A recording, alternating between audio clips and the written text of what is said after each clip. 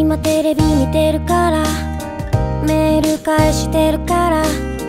横向いて食べてた母の手料理。そこには愛があった。今日はどうだった？毎日めんどくさくて。別に何もないよ。そこには優しさがあった。帰りが遅くなった時。真っ暗なテーブルに作り置きされた夕食。一人レンジで温めいつもの席に座ってみる。なぜだろう？美味しいって言葉も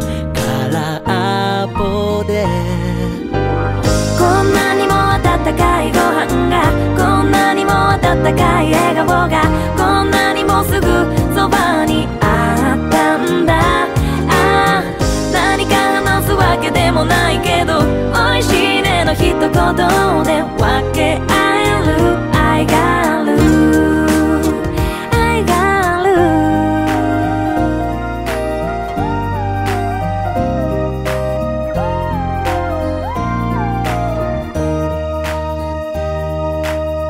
学食の定位置。止まらない笑い声。ただ一緒にいたくて無駄話だけどそこには愛があった些細なすれ違いから意地を張り背を向け合ったんだ。